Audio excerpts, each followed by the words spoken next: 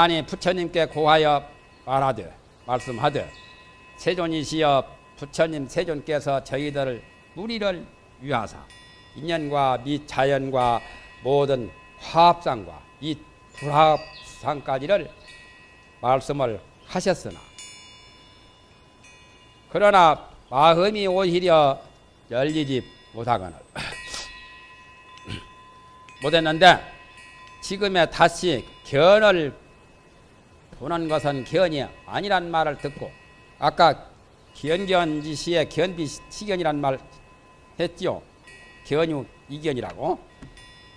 그러니까 견을 보는 그 자체는 정말 망견이 아니라고 그런 말씀 하시는 것을 다시 듣고 거듭 미민을 더하노니 미민이라 것은 답답하다 말이야. 의심 의심이 많은 것을 미민이라고 가죠.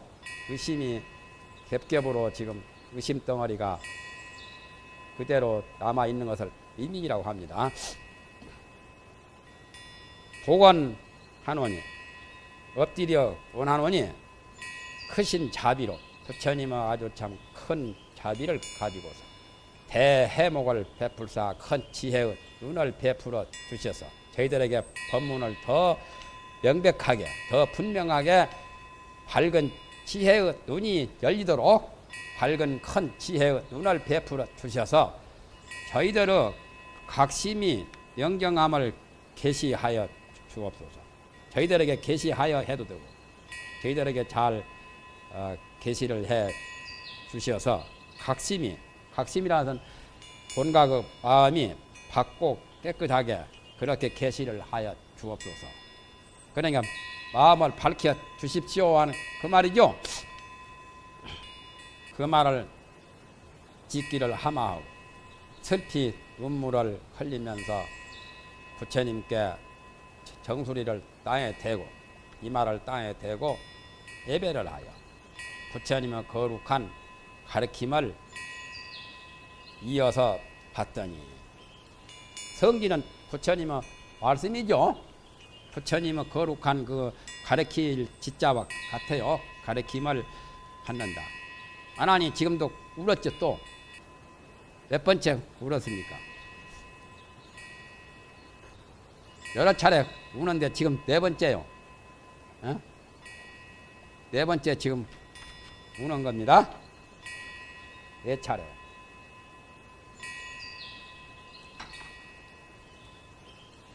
그때 세존께서 안한과 모든 대중들을 불쌍히 여기사 장차 대다라니와 모든 삼마제와 묘한 수행의 길을 부연하고자 하사.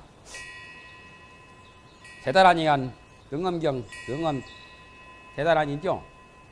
능엄 수능엄 대다라니인데 그 법문을 지금 어, 앞으로 밝히려고 지금 가지요. 여기서 다란이라고 해도 사실은 이거는 통 그 법문이 여기서 대단하니라요. 수능은 대단하니보다는 25원통, 25원통 가운데 관세음보살 이거는 통이 바로 대단하니죠. 묘한 삼마제, 묘한 삼마제가 밑에 이제 삼마제 법문이 나오죠. 25원통에서 밝힌 것이 묘한 삼마제입니다. 묘한 수행의 길도 이은원 통이고 그걸 부연하고자 하사 응엄경은 총 가장 중요한 핵심 그 제일 중요한 그 볼수가 이거는 턱이요 반문 공부요 반문 공부가 묘하게 수행하는 길도 되고 그게 삼마제 중에 최고 법문이죠 25원통이 다 삼마제는 삼마제지만 그 중에도 묘한 수행의 길, 이거는 통이 최고죠. 그런 것이 다 수능하면 어, 대다라니에 속하죠, 전부. 다란이란 말이 여러 가지가 있죠. 다란이는 총기라고 하는데 다란이의 종류가 여러 가지요. 다란이 이렇게도 썼죠. 발음만 같으면 돼야 해요. 다란이는 총기라고 번역합니다. 총기. 모든 걸 다 총괄한 것. 신라 때는 총기종이 됐었죠. 지는 용. 총기라고 번역하는데 거기에는 무자도 있어요. 글자 없는 다란이도 있고 글자가 하나 있는 다란이가 있어요.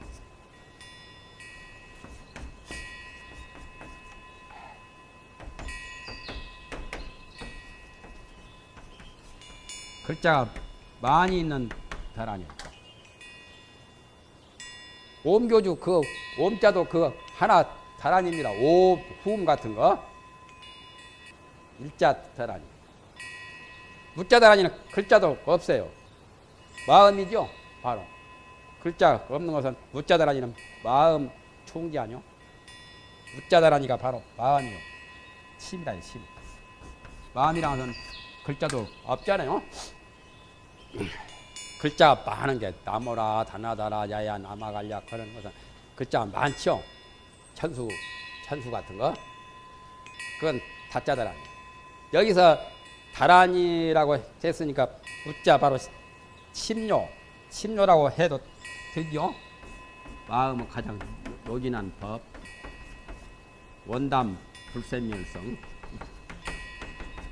영음경에서 저 밑에 보면은 이런 게 많이 나오죠. 이런 말이 저 밑에 가면 나옵니다. 원담 불생멸성이라고 그런 수로가 저 밑에 가면 나와요. 이게 바로 마음자리죠. 진영 마음자리. 둥글고 청정하고 맑고 생멸이 아닌 불생불멸하는 그런 신성. 원담 불생멸성이야말로 최고 다란이죠. 대다란이죠. 무자다란이 바로 심요하뇨. 거기서 글자로 하나를 말하면 일자다란이가 되고 여러 글자로 이렇게 다란이를 말하면 다자다란이가 되고 육자다란이가 있죠. 옴 많이 반매훈 육자주 옴 잘해주래 준재 사바하 부림 그것도 그거는 어, 옴 잘해 주래 준재 사바하 그거는 칩자다란이 어? 부림은 붙인 거라요. 부림이 둘 같지만 하나요. 말세 중생을 위해서 그 특별히 하나 더 붙인 거예요. 옛날 사람이 이것이 이제 전쟁할 때, 어, 저 강한 적을 토벌할 때는 선봉장한테 뭘 주고 또 군대를 더 보충해 주죠. 그와 같이 옴 잘해주래 준재 사바 준재준데 그다 부림이라는 글자가 부림이 두 자 같지만 한자라요. 범어로 그냥 부림 한자인데 그 주문을 더 하나 더 붙여준 거예요. 그러니까 준재보살의 주문인데 부림이 하나 더, 더 붙죠. 더 붙어요. 이걸 일자라고도 해요. 부림도. 한글로는 두 자지요.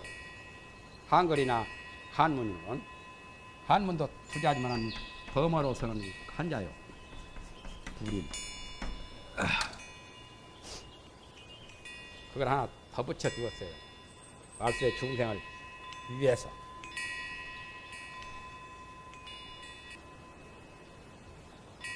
여비를 가지고 가는데도 혹시나 여비가 도중에 떨어질까봐 비상금을 또더 주는 것처럼 어? 머니는 아들 딸한테 더 주죠. 뭐 하나 더 보태 주는 거. 그것을 구현하고자 하사 아난에게 일러 말씀 하사되 내가 비록 강기하나 강기란 말은 많이 기억한다. 안한 존자가 아, 다문제일이죠. 다문제일이기 때문에 안한이 기억을 잘한다는 뜻이에요. 강력하게 기억한다니까 강력하게 기억한다는 것은 다문 박씨거든. 네? 안한 존자를 다문이라고도 하지요. 바문이 바로 간기라요 감기.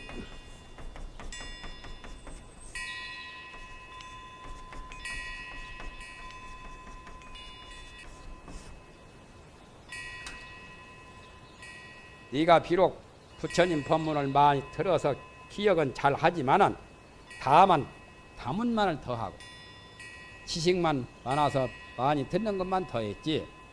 사마타의 이밀 관조에 대해서는 마음이 오히려 분명하지 못하니 지금이 사마타 법문 아니요 지금? 저 밑에 이제 25통 나올 때가 어, 삼마제 법문이고. 그 전에 수능감이 세 가지라고 말했죠. 사마타 또 삼마제 선나. 어? 그래서 여기에도 사마타란 말이 나오기 때문에 여기 1권, 2권, 3권, 4권까지 전부 다 사마타의 본문이라고 지금 정명수에서 그렇게 본 거예요. 여기에 분명히 사마타란 말이 나오잖아요. 또 그 전에 아난이 울면서 부처님께 시방 열애께서 도를 이루신 묘한 사마타와 묘한 삼마제와 묘한 선나의 최초 방편을 듣기를 원했다고 맨 처음 초건에 울면서 나오죠. 사마타는 마음을 그치는 거죠. 지금 열 번 견성을 밝히는 것이나 저 위에 일곱 번을 망상 그 마음은 진짜 마음이 아니라고 말씀하신 것이 다 사마타의 법문이요. 사마타의 미밀 간조에 대해서는 미밀하게 관조를 하는 데 대해서는 마음 공부죠. 마음 공부가 미밀 관조입니다. 치밀하게 아주 미묘하게 미묘하고 치밀하게 마음을 빈틈없이 그러니까 마음에 여러 가지 그런 산란심이 없이 마음이 끊겼다가 또 다시 생겼다가 하면 안 되죠. 그런 것이 없이 공부가 잘 돼야 비밀입니다. 물샐 틈 없이 공부를 제대로 비밀 간조라고 해요. 비밀 간조한 데 대해서는 마음이 오히려 분명히 알지를 못하니 이라고 하는 것은 뭔 뜻이냐? 정맥수에서는 이 자를 이렇게 설명을 했어요. 정맥수에서는 이망 절상 허망을 떠났고 또 모든 상을 상이 끊어진 걸로 일자는 정맥수에서 어떤 식으로 설명했냐면은 상에 직해서 상이 없는 거.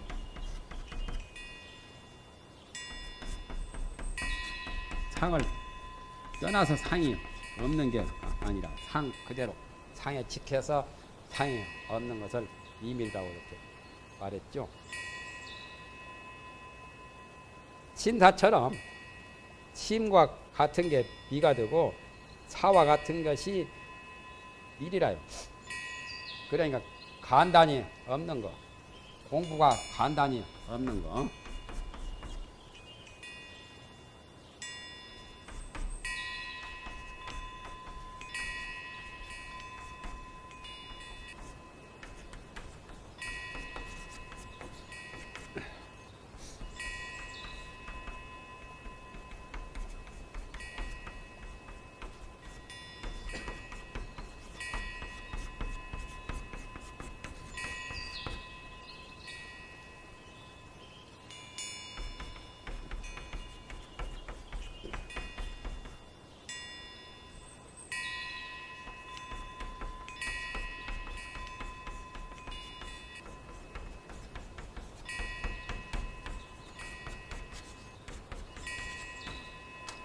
나 개색이 더 쉽죠.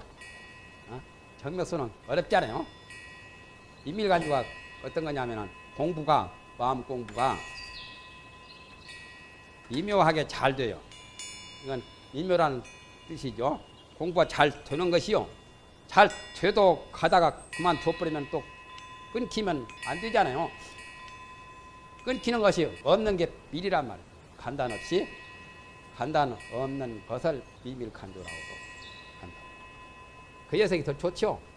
공부가 잘 되는 것이 잘 돼가지고 간단 없이 화두가 잘 들리면은 그것도 비밀 간조고 관법을 부정관이나 이런 원관이나 할 때 제대로 잘 되면 그게 일일 관조라.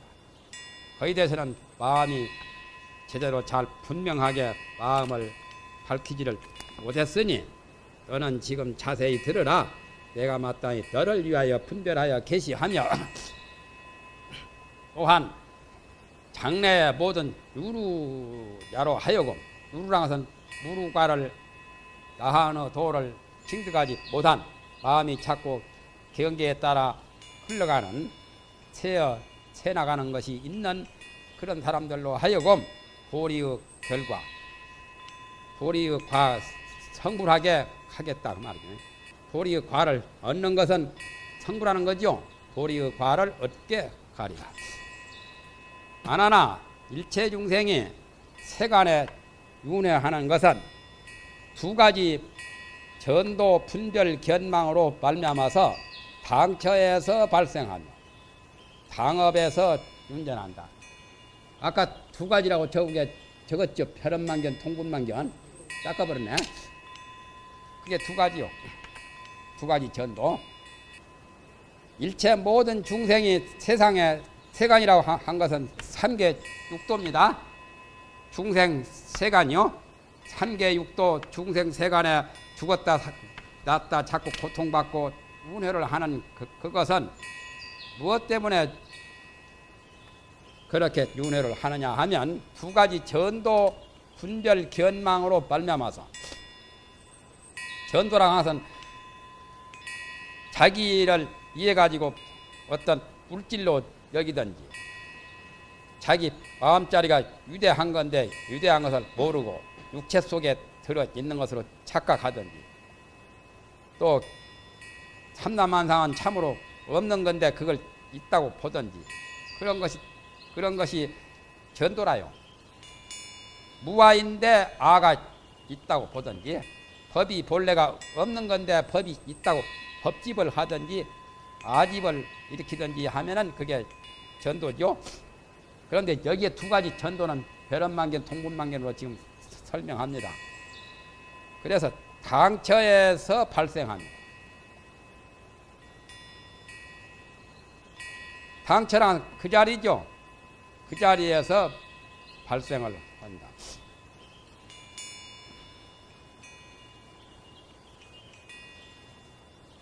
당처라고 하는 것은 다른 때에 시간적으로 달리 금생에 지가지고 내생에 받는 것이 아니라 바로 당처라고 하면서 굉장히 신속한 거죠. 바로 그 자리에서 받아요.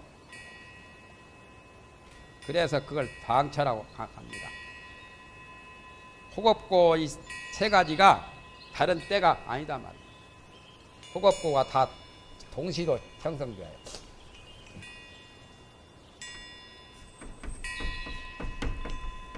혹, 업, 고.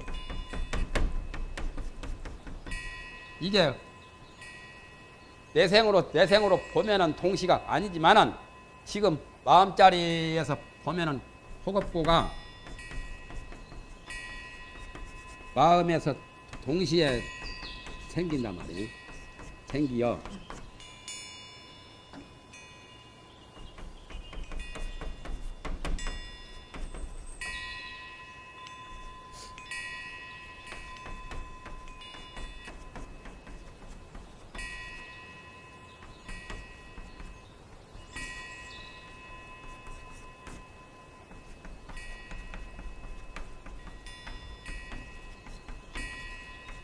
이런 해석도 있어요.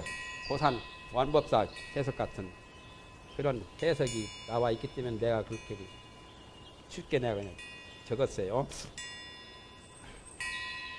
호곡고란 것이 우리 중생이 진리를 몰라가지고 운명 불각이 속이죠 번뇌가 그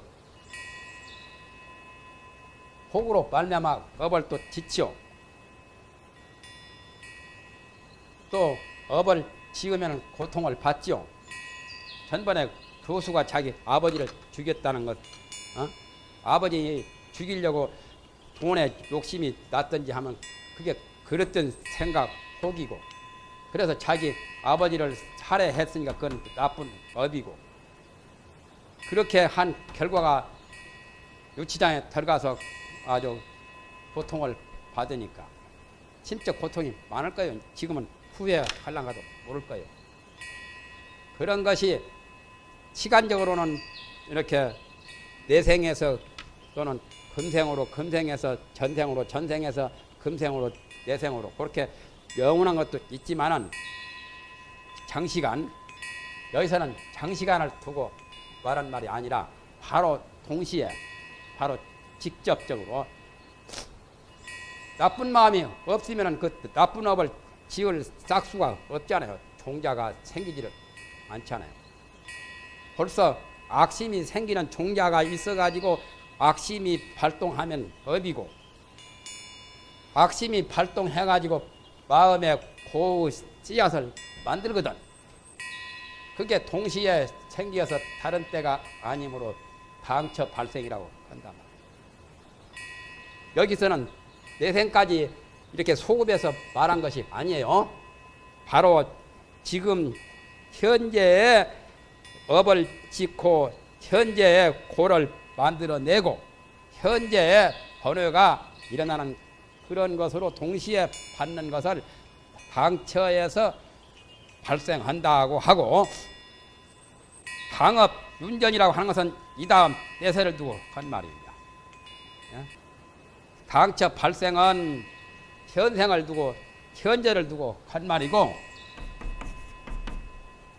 당처 발생 당처 발생은 현재고 또 당업 윤전이라고 그랬죠. 당업 윤전은 미래까지 미래까지를 말한 거요. 업에 당하여 윤전한다. 그래서 나쁜 업을 지옥의 업을 지으면 지옥에 떨어지고 아귀 업을 지으면 아귀에 떨어지고 축생의 업을 지으면 축생에 떨어지는 거. 그래서 업에 당해서 윤전을 한다. 현재 현재에도 그렇게 업을 지어서 발생하기도 하고 또한 업을 지은 결과로 말미암아 업에 당해서 이 업은 지어진 업이죠. 현행이죠. 이제. 아까는 종자지만 종자와 현행으로 봐도 되지요. 종자와 현행이라고 그 전에 유식론에서 많이 말했죠. 종자로 말미암아 현행이 생기죠. 곡숙 씨앗을 씨앗이 종자고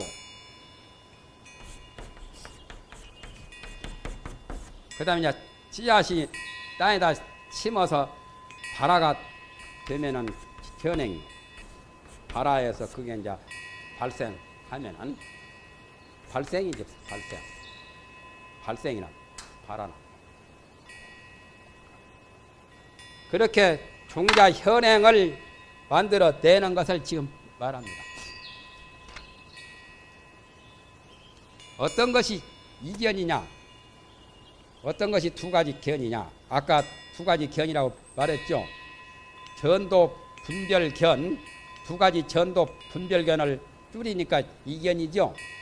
이전도 분별견 그러니까 이전도 분별견의 허망함을 말미암아서 그랬잖아요. 그 전에 번역이 그렇게 되었는가 안 되었는가 모르겠네요. 어찌 되었어요? 번역은 어디야?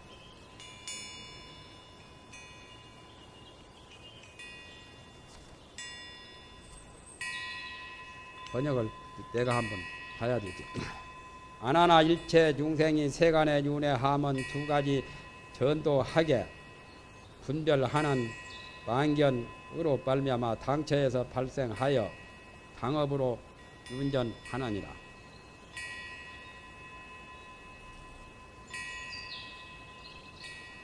번역은 뭐 그런 대로 봐도 되겠네요. 어떤 것이 두 가지 견이냐? 아까 나왔던 거 첫째는 중생의 배련만견, 둘째는 중생의 동군만견입니다. 배련만견은 개별적으로 자기 단독으로 자기 개인 개인이 개별적으로 자기 업에 따라서 허망하게 보는 것을 벼름난견이라 하고 밑에 이제 설명이 구체적으로 나옵니다. 두 번째는 중생의 동군만견이다. 자기 혼자만 보는 것이 아니라 여러 사람들이 같이 보는 것. 공동적으로 여러 사람이 대동으로 공통적으로 나만 그렇게 보는 게 아니라 여러 사람들이 같이 보는 그런 중생의 동분만경이다. 그러면은 배렴난경이라고 하는 것은 숫자적으로 자기에 국한되는 어, 소수죠. 중생의 동분만계는 숫자적으로 보면은 많은 사람들이죠. 다중이죠. 여기에 해석들이 또 여러 가지가 많습니다.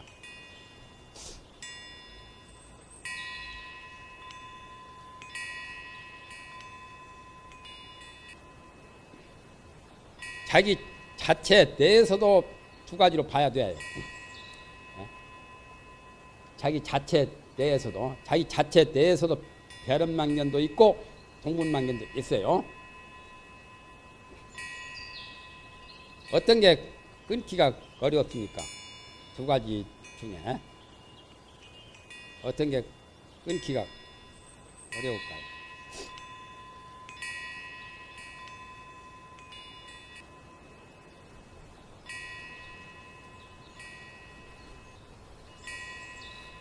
분별혹이란 말도 나오죠. 분별혹 또는 구생혹 그런 말 있죠. 그 전에 의식론에 나왔었죠. 분별혹, 구생혹 한 사람한테 보려면 이게 배런만결 개인한테 보면은 배런만결이 바로 일개인에게 볼 때,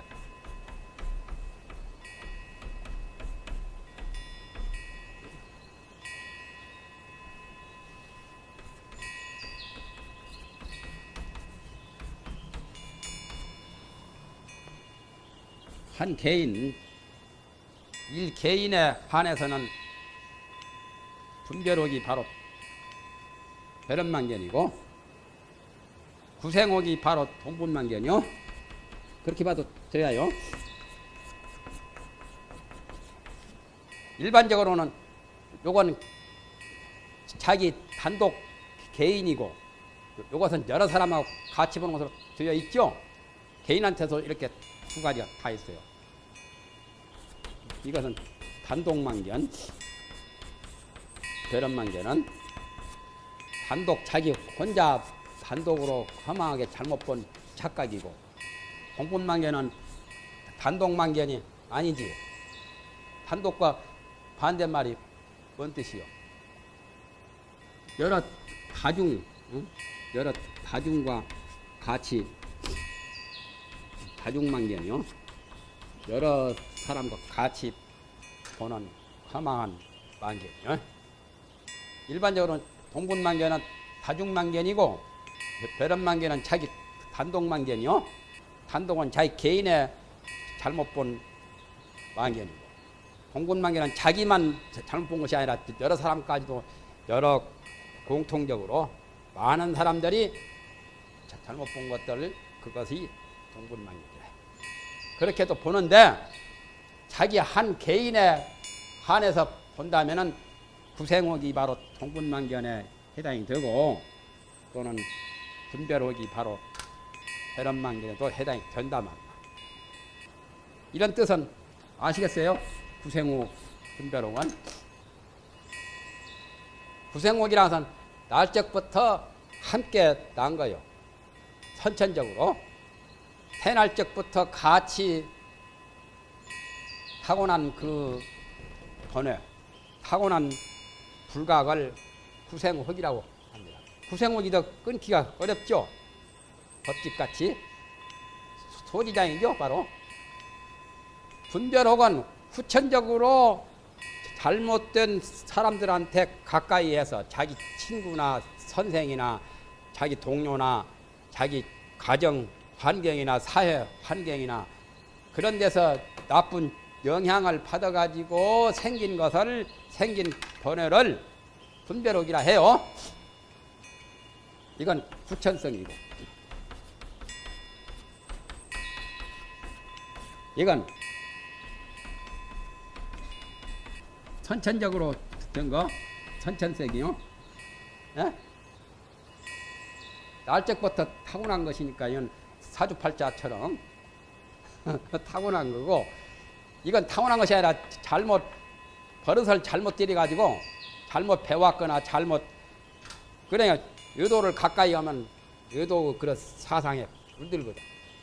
공산주의 그 것이 이거 세뇌가 되면은 공산주의 사상이 백혀가지고 빨치산 되어가지고 죽으면서도 만세 부르고 다 하잖아요. 그게 분별학이라요. 원래부터 공산주의 그 사상이 있는 건 아니거든. 뱃속에서 붙어서. 그건 후천적으로 배운 게죠. 공산주의 사상은. 선천적으로 타고난 것은 먹고 싶어 하고 배고프면은 먹고 싶어 하고 또 뭐예요 또 목마르면 마시고 싶고 또 자기 것으로 만들려고 하는 그다 그런 어린애도 봐봐요 과자 같은 거 주면은 자기가 먹으려고 가지요. 거기다 구생옥이라. 욕심 날적부터 타고난 그런 번호를 구생옥이라 하고 후천적으로 옴교주한테 가서 배우니까 그것이 저 무슨 저 화약 같은 것이나? 던지기나 좋아하고 말 사람 죽이기 좋아하고. 그게 분별은 거야.